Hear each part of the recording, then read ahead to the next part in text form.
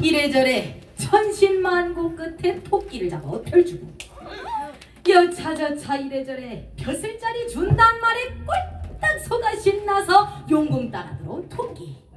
용왕의 한마디에 정신을 차리는데 내 여봐라. 어서 토끼 배 가르고 간 더운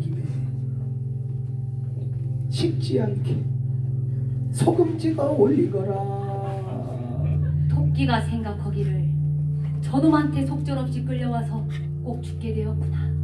한 꾀를 얼른 내어 배를 의심 없이 척 내밀며 자, 내 배 따보시오.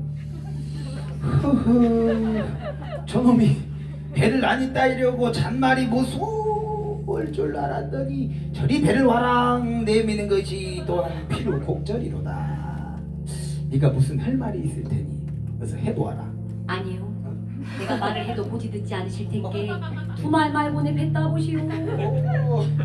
어서 말을 하래요